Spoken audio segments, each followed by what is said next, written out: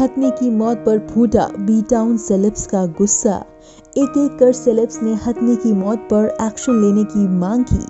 पूजा भट्ट का वह ट्वीट इस वक्त सुर्खियों में है, जिसमें उन्होंने एक तरफ़ भगवान गणेश की पूजा और दूसरी तरफ़ हाथी को मारने को लेकर कुछ बातें कही हैं।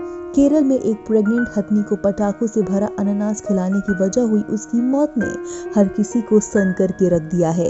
देश के कई आम लोगों और सेलिब्रिटीज के साथ पूजा भट्ट ने भी अब ऐसे कई घिनौने काम को लेकर अपना गुस्सा ज़ाहिर कर दिया है। पूजा भट्ट का यही ट्वीट इस वक्त चर्चा में है।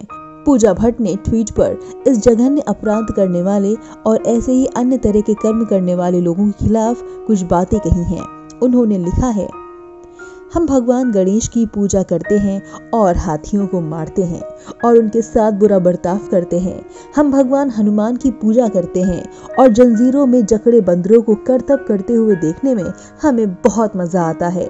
हम देवियों की पूजा करते हैं और महिलाओं की ताकत पर नाराज़ होते हैं। उनके साथ दुर्व्यवहार करते हैं। उन्हें अपाहिज कर देते हैं और कन्या भ्रूण हत्या भी करते हैं। इस वक्त सोशल मीडिया पर इस घटना को लेकर लोगों में काफ़ी गुस्सा है तो वहीं बॉलीवुड सेलिब्रिटीज भी एक एक कर अब अपना गुस्सा ज़ाहिर कर रहे हैं। अनुष्का शर्मा, अक्षय कुमार, रणदीप हुड्डा, वरुण धवन, श्रद्धा कपूर, आलिया भट्ट, टाइगर श्रॉफ, दिशा पाटनी समेत कई हस्तियों, जो कि एनिमल वेलफेयर को प्रमोट करते हैं। सोशल मीडिया पर इन सेलेब्स ने नाराज़गी ज़ाहिर की है। और ये सारे सेलिब्रिटीज इस क्रूरता से बेहद हैरान हैं। अनुष्का शर्मा ने अपने पोस्ट के ज़रिए कड़े कानून की मांग की है।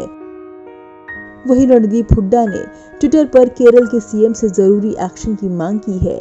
वही रिपोर्ट्स को पढ़कर हैरान श्रद्धा कपूर ने ट्वीट किया, कैसे ये हो सकता है? क्या लोगों में दिल नहीं है? मेरा दिल टूट गया है। अपराधियों को कड़े तरीके से दंड दिए जाने की ज़रूरत है। आपको बता दें कि क्या था पूरा मामला। पिछले दिनों केरल में कुछ लोगों ने बस मज़े लेने के लिए कुछ ऐसा क्रूर और हिंसक काम किया जिससे एक हथिनी की मौत हो गई और उसके पेट में पल रहा बच्चा भी मर गया। स्थानीय लोगों ने हथनी को पटाखों से भरकर एक अनानास खिला दिया था और जिससे उस हथनी का मुँह बुरी तरह से जख्मी हो गया था और पानी में घंटों खड़े रहकर अपनी मौत का ये हथनी इंतज़ार करती रही।